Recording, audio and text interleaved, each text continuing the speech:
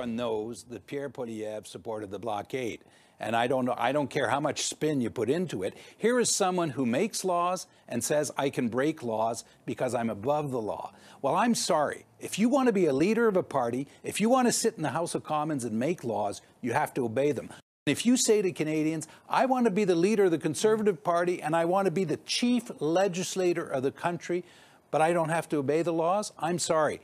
That's not just a failure in leadership, it disqualifies you as far as I'm concerned, as being someone who thinks or aspires to be a leader of a party.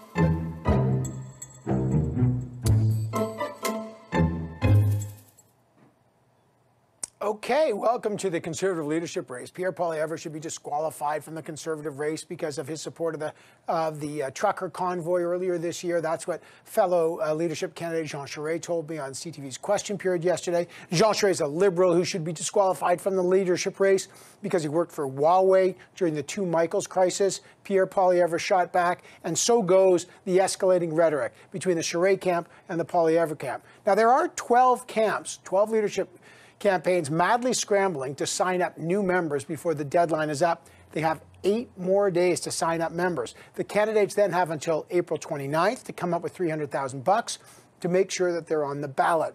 But are all these allegations accurate? The so-called Freedom Convoy did lay siege to the downtown Ottawa uh, area for weeks while also stalling trade by blocking key international border crossing in Windsor and Coutts, Alberta. Originally billed as a protest against the vaccine mandates for truckers, it obviously became a magnet for many other messages. Uh, the mayor of Ottawa, the police chief, the premier of Ontario, all call, and the prime minister all called the protest illegal. Mr. Poilievre did say on February 10th he's proud of the truckers and he stands with them, but does that really qualify him from running? Does Mr. Charest's work for Huawei, which he's talked about on this program, really mean he shouldn't run for the leadership? Well, let's bring in two people from each camp. Jenny Byrne, CEO of Jenny Byrne and Associates, conservative strategist, former advisor to Stephen Harper, and now working as a key advisor on the Pierre Paul Poilievre leadership campaign team, and Tasha Kheiriddin, principal at Navigator and the co-chair of the Jean Charest leadership campaign. Uh, great to have both of you here. Uh, let me start with you, Jenny Byrne. Uh, you saw the interview that I did with Mr. Charest on Sunday. He said Mr. Poilievre, in his view, supported illegal blockades and that he, quote, you can't break laws, to use his words, because he says Pierre Poilievre thinks he's above the law and should be disqualified. Your response? Well, I think that's ridiculous. I, I, it's hard for me to understand why Jean Charest is even running for leader of the Conservative Party because he seems to dislike uh, every member of the Conservative Party. You, have got a, a party uh, that overwhelmingly supported the Freedom uh, Convoy. Uh, you have caucus members, including our interim leader, Candice Bergen. I'd like to know if Jean Charest thinks that she's not capable or uh, credible to run, uh, as, and and and also disputes the the hundred, the thousands and thousands of Canadians across the country uh, over the last three months that supported that. Uh, you know, Mr. Poilievre's, Pierre's, uh, and uh, Pierre's speeches and our events and uh, where we're we're selling memberships have have drawn close to 20,000 people in the last two weeks. And so I think it's going to be very hard for Jean Charest, someone who recently joined the, the party, the same as Tasha, um, uh, recently joined the party to be able to say that uh, that that this hmm. is not what the Conservative Party is uh, is looking for. Tasha Kheiriddin. Yes, Evan. Well, where to start? Um, you know, uh, the history of Jean Charest with the Conservative Party and its predecessor, the Progressive Conservative Party, goes back as far as mine, actually a bit farther, almost 35 years, because he was there on the front lines during the uh, government of Brian Mulroney. That's where I got to know him. That's one of the reasons I'm supporting him for leader, because he has a deep understanding of what conservatism is in this country, what it can do, how to achieve great things like the free trade agreement and the other projects that were achieved, the acid rain treaty, for example, under Brian Mulroney's government. He's also run a province and yes, he was a liberal in Quebec. I know, Jenny, you're going to come out with that one, but there was no Conservative Party at the time. Uh, I guess, you know, Christy Clark was a liberal in British Columbia. Conservatives pretty much lay claim to a lot of what she did, too, because at the time there was no Conservative Party in the province, but, but, and but that Tasha, party represented the, the center right. So if I could just say, I, I think a lot of the, the attacks, Natasha. a, a lot of the attacks that you launch on Jean Charest as to why he's running, he's running because he firmly believes that this country needs another national party to govern it. And the direction that you're espousing, and yes, that some members of the Conservative Party do espouse currently, is not a direction that is going to take us to a majority government. And it's hard to argue with that. I mean, you get crowds. Yes, you've got thousands of people. So did Maxime Bernier in the last election, and he got 5% of the vote. So, quite frankly, I think if you want an opening, look at what's happened with the NDP Liberal coalition. It's given us an excellent opening on the center right to pull in voters who feel now they have no home even with the Liberal Party and no home in a Conservative Party, though, that would veer as far right as you would take it. So why don't we go to the place with a leader who can attract enough people to actually get us into office and make the good things happen we need to for this country? Right.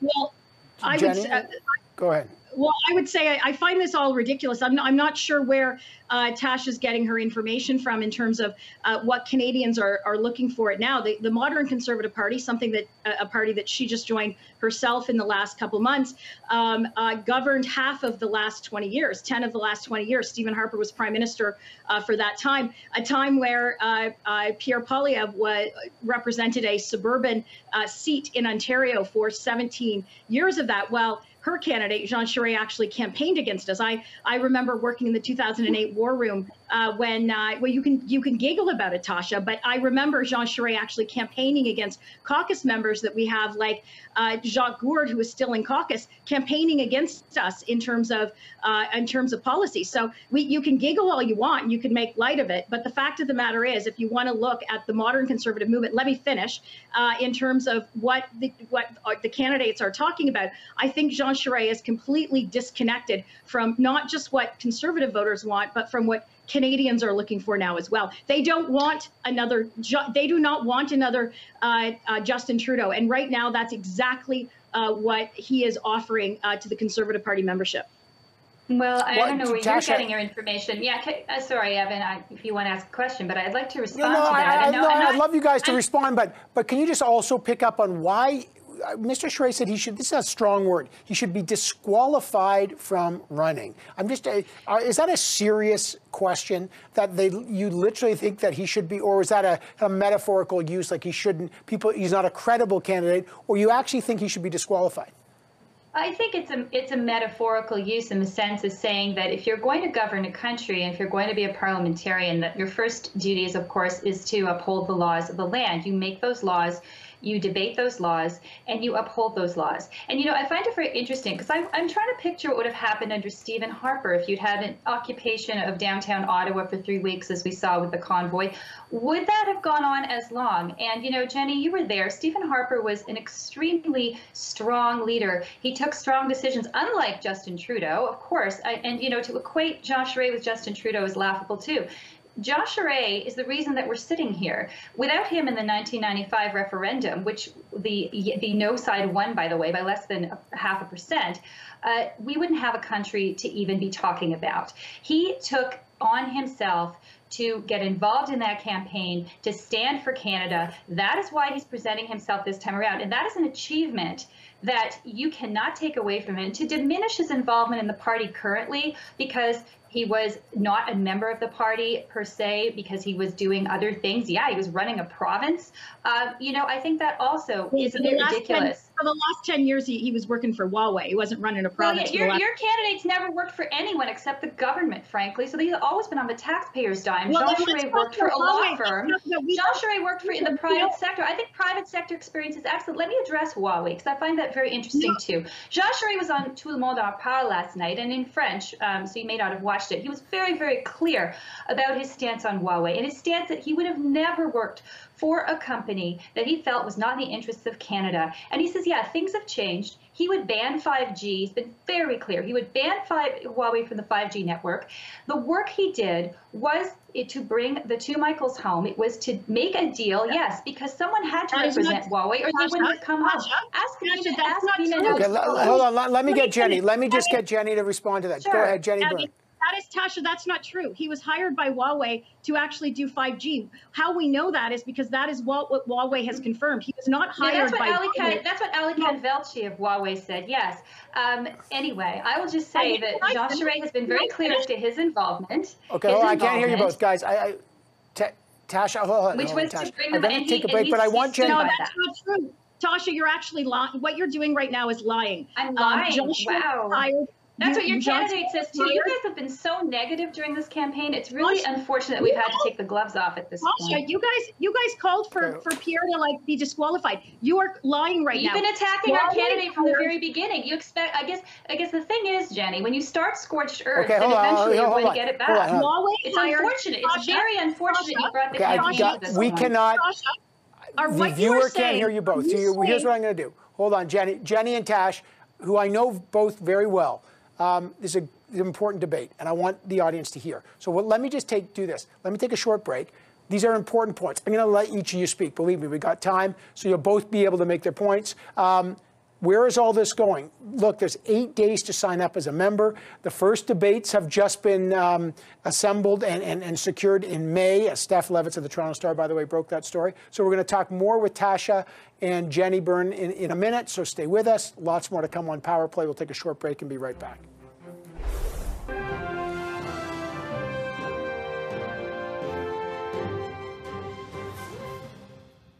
The debates for the Conservative leadership race have just been set. There will be a debate May 11th in Edmonton, May 25th in Montreal. There's going to be another one in August. Again, credit to Steph Levitz of the Toronto Star who broke that. It's happening quickly. In five months, Conservatives will choose their leader. Hopeful candidates have basically only eight more days to sign up members for the race. It's a crowded race. There's a 12 campaigns.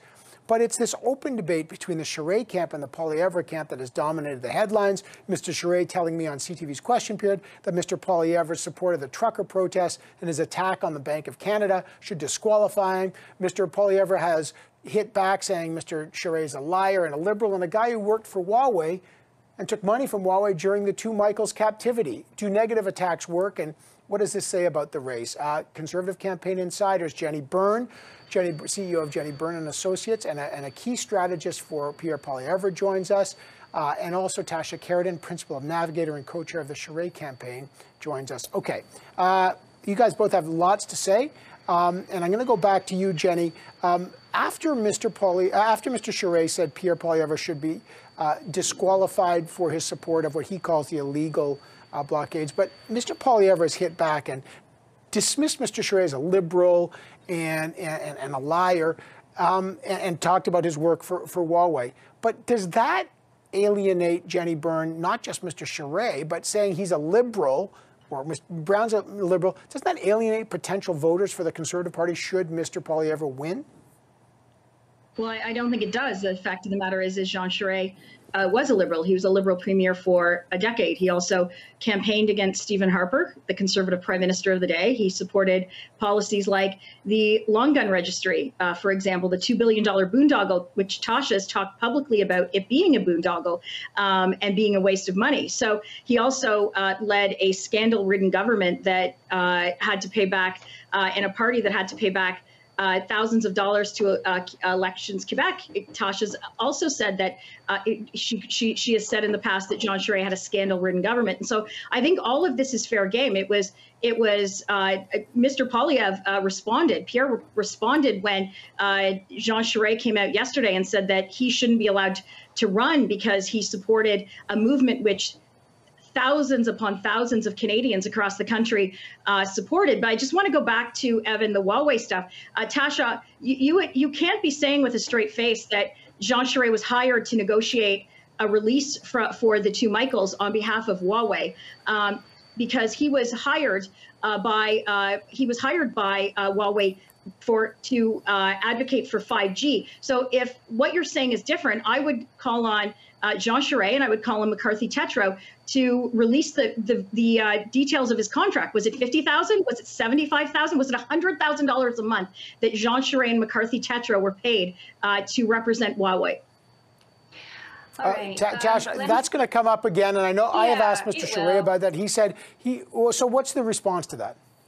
Well, the response is twofold. First of all, Mr. Charest has been very clear that he was hired to bring Huawei to the table in terms of the, the, discussions of the release. He wasn't, he was not, yes, he was, it wasn't a question of Huawei saying, yes, let's release. It was a question that they had to be at the table to discuss this. He was representing their interests there. And in terms of, uh, you know, getting out contracts and this kind of thing, um, you know as well as I do, Jenny, that law firms have confidentiality with their clients. They're not going to release contracts. They're not going to do that. And you're calling on that. It's just the same kind of stuff that your candidate says about slamming things, institutions like the Bank of Canada Canada, saying that Bitcoin, you know, we're going to make Canada the crypto capital of the world. The kinds of stuff that sounds, it's a nice little soundbite, but when you really dig down, it means absolutely nothing. And in fact, it's often disinformation. You know, I find it very interesting, particularly these attacks on the Bank of Canada that Pierre Poilievre has, because we know that in the 2008 financial crisis, when your candidate was part of the Harper government, one of the reasons the country weathered that crisis so well was the leadership of the Bank of Canada, when Stephen Harper had to run up huge deficits, by the way, to deal with that crisis. And Canada came through that really well thanks to the leadership of the Bank of Canada. And I didn't hear no, Pierre Poilievre complain about it then. Um, it was thanks it was to the leadership of both, yes, the government, but also the, the policies of the bank, which maintain stability in this country. That's what the bank does. Okay. You know, I don't think most can most Canadians want to go and buy things with crypto the way your, your candidates encouraging them to do. When you even have okay. economists, when you even had Kevin O'Leary recently saying it's an investment, but it is it's a speculative investment. It is not something you use as a currency. It is something you hold in your portfolio. Most Canadians don't get that, but okay. your candidate doesn't make the difference. So, so let me hang on. Let me like, get, let me get Jenny Byrne to respond to that. Uh, Jenny Byrne, respond to that. I know Mr. Charest was talking about that, and maybe explain what Mr. Poilievre meant. And you know, cryptocurrencies are obviously a big deal. Um, they're popular. They may or may not be regulated. Obviously, there's lots of debate about it. What did he mean when he told people that through Bitcoin or other cryptos, people might have the opportunity to opt out of inflation. The Bank of Canada, former Bank of Canada governor told me he didn't think that was possible. What did he mean by that?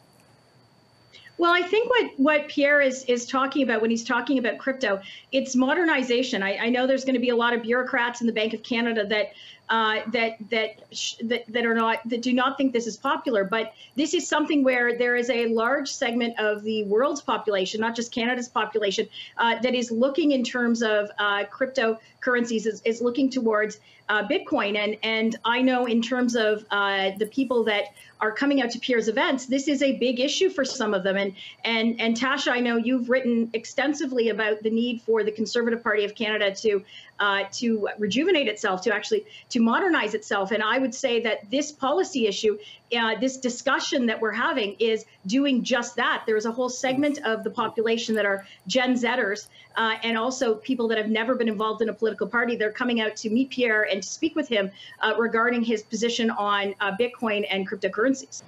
Yeah, when I was talking about modernization, I didn't envision the future potential Prime Minister of Canada sitting there smoking shisha and talking Bitcoin about how wonderful it was for, you know, half an hour on video as your candidate did, which I, you know, find very curious because it's the kind of thing that a lot of people look at and go, wait a minute, uh, wh- what are you literally smoking? The information he's given on Bitcoin has led people to think that it is just some kind of alternative currency when we know it is actually the most used means of cyber extortion in the world. Crimes and scams of Bitcoin are going up and up and up as well in this country. That you don't talk about. You don't talk about regulating it. You know, Michelle Garner, Rempel Garner came out with a bill about regulation of crypto. That's a different thing. And we're going to have some policy things as well because it's yes, you need to to look at issues that come up, but to simply throw it around because you know it'll get people to vote for you uh, from a certain segment is really disingenuous. It's not what the Conservative Party is about. It's not what Canada's about. This race should be about finding and building a party that can appeal to enough people to get a majority government in the next election. And that is not what you're doing, but that is what Jean Charest is I, doing. Okay, I got uh, 30 seconds for you, Jenny, and then I got to call it, but I can, I'll have you both back anytime, as you both know. Uh, Jenny, you want to just respond? No, well, listen. I think that we're, we're this race. Eh, we are going to see. Uh, uh, this race is showing that the policies and the views that Pierre Poilievre have are very exciting, not just to Conservative Party members, but also to Canadians. The vast majority of people that are coming out to our events um, are, are not Conservative Party members. They're signing up. Uh, they're they're signing up. Tasha may not know that because, of course, she hasn't been to a Conservative Party event um, in the last 15 years. But these are people that are not regularly coming out to the events. We're we're getting Conservative Party members, but we're also getting new members that were signing up. And so I think that we are going to see the excitement uh, right up until the day the the uh, uh, membership cutoff on June 3rd, uh, and then right into the uh, right into the election day uh, when we find out who wins on uh, September 10th. It's exciting, all right. Okay, we have uh, 1,500 volunteers across the country. We have 1,500 people Oh, who are get, signing okay. up members every day, 400 other volunteers. We, we're very Okay. excited about this too because we really think Okay. it's going to be a great race. And in the end, that we're going to win. And there, and well, there's ten other campaigns. Uh, listen, uh, Tasha, gonna be fun, Jordan, Jenny Byrne. Always a pleasure to have both of you on. I really appreciate it. you. Your candor uh, and your advocacy for your own candidates. Thanks. Thank you. Thanks, Evan.